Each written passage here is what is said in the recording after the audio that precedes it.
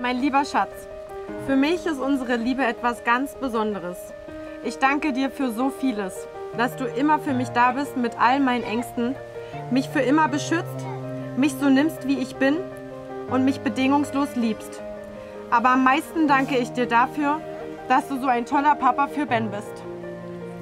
Du erkennst als erster, wenn die sonst so starke Denise klein und zerbrechlich ist. Du bist da, wenn ich dich brauche und gleichzeitig mein Rückzugsort. Du gibst mir das Gefühl von Sicherheit. Du bist meine Familie, mein Zuhause und mein allerbester Freund.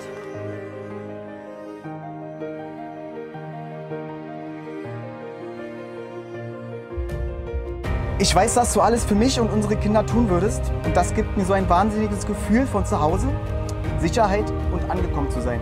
Wir ergänzen uns super, auch mit den Kindern. Du akzeptierst, nein, du liebst meine Mädels, so wie ich auch Ben liebe.